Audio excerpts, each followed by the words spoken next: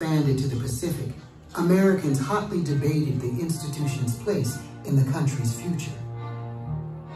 Would the United States continue to extend slavery? The white man's happiness cannot be purchased by the black man's misery. Dedicated abolitionists, men and women, black and white, risked their lives to call for an immediate end to slavery. Southern political leaders demanded the federal government protect slavery wherever it extended. In the 1850s, a new political party, the Republicans, rose to limit slavery's expansion.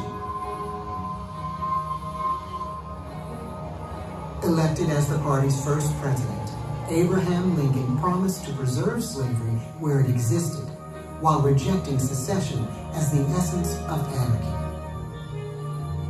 But seven states in the South voted to separate from the Union even before Lincoln took office.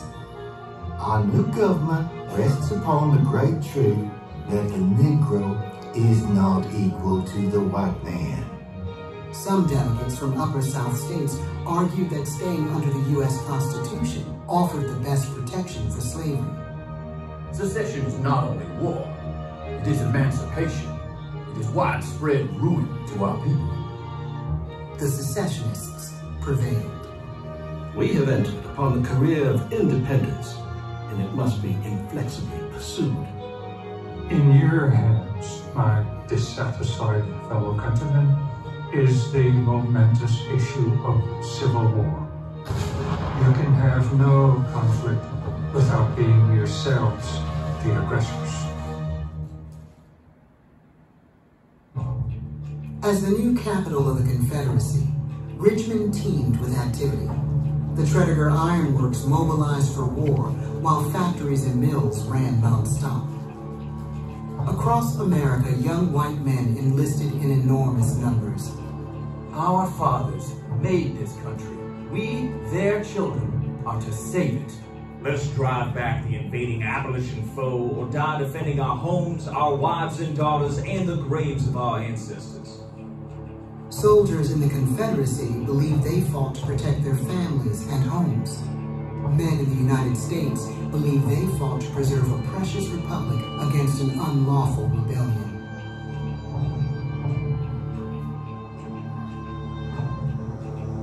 Just weeks after secession and Fort Sumter, enslaved people began to escape to United States Army outposts. Confederates demanded the return of their property. U.S. commanders at Fort Monroe and soon elsewhere heeded requests of the enslaved men to stay.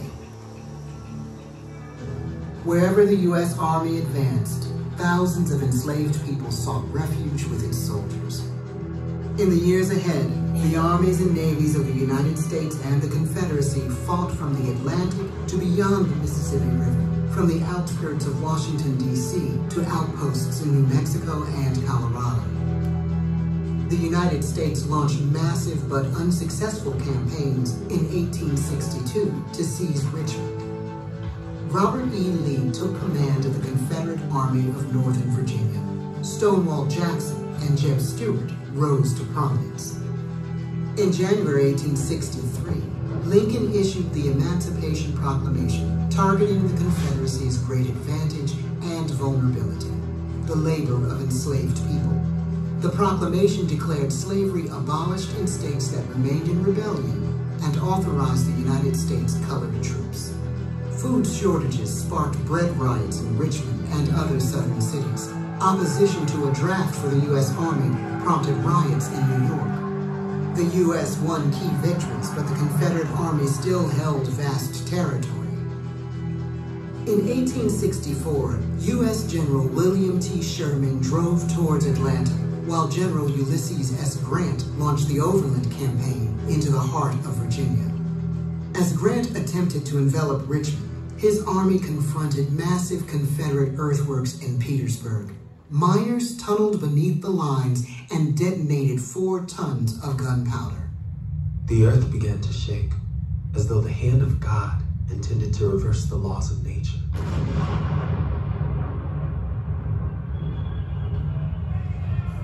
Grant's officers ordered regiments of United States colored troops to attack after the explosion.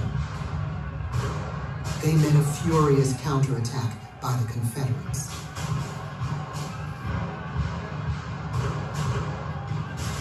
The Battle of the Crater and the Overland Campaign failed to drive Lee from Richmond. The dead lay thick, both white and colored, Union and Rebel. Wounded men flooded military hospitals and private homes already overwhelmed with casualties. We see the most sickening sights, such as men, with their limbs blown off, without a shudder. We are waiting at the cot side and closing their eyes one by one as they pass away. Two months later at New Market Heights, outside Richmond, black soldiers attacked entrenched Confederates. No man dare hereafter say anything in my presence against the bravery and soldierly qualities of the colored soldiers. In the 1864 presidential election, Democrats campaigned on ending the war. President Lincoln feared he would not win a second term. Crucial U.S. victories weeks before the election in Atlanta and the Shenandoah Valley ensured the president's re-election. Clouds of darkness around about us. We're a desolate and smitten people. That winter, Lincoln pushed through a constitutional amendment aimed at abolishing slavery forever. In the spring of 1865, the United States armies roamed the Confederate heartland and punched through the crumbling defenses around Richmond. Fires set by fleeing Confederate troops engulfed the city.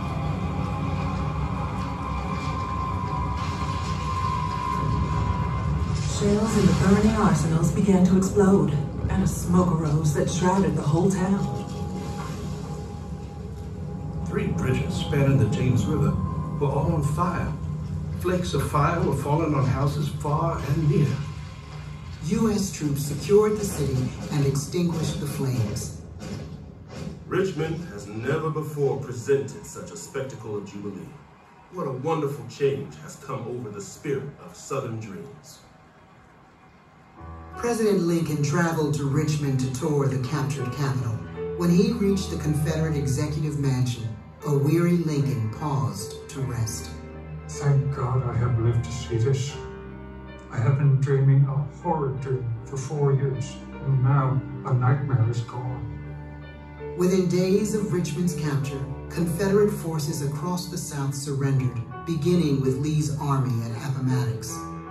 In Washington, at the moment of triumph, an assassin shot President Lincoln, sending the United States into mourning and confusion.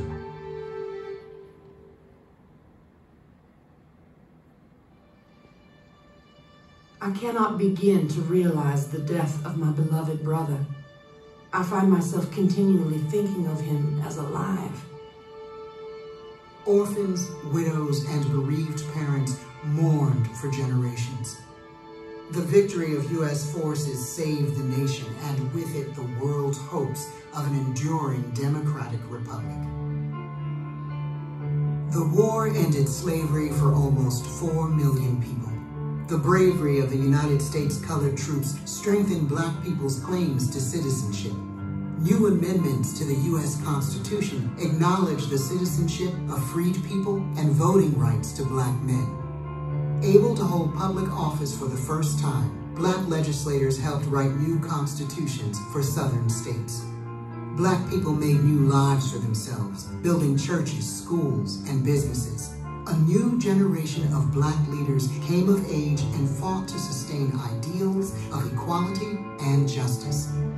I felt like anything rather than rejoicing at the downfall of a foe who fought so long and valiantly and had suffered so much for a cause, though that cause was, I believe, one of the worst for which a people ever fought. The white South thought their surrender meant that nothing more would be asked or demanded of them. They saw Appomattox as an ending, and many would resist the more profound revolution that was to come. The war did not decide Negro equality, Negro suffrage, or states' rights. The these things, the Southern people will still claim in their rights and views. Black people themselves worked to make sure that the war and the freedom it brought had not been in vain. The fight for justice continued in a nation transformed by the American Civil War. Liberty has been won. The battle for equality is still pending. The reconstruction of this union is broader, deeper work than the restoration of the rebel states. It is the lifting up of the entire nation into the practical realization of our Republican idea. This nation shall have a new birth of freedom, and the government of the people, by the people, for the people, shall not perish from the earth.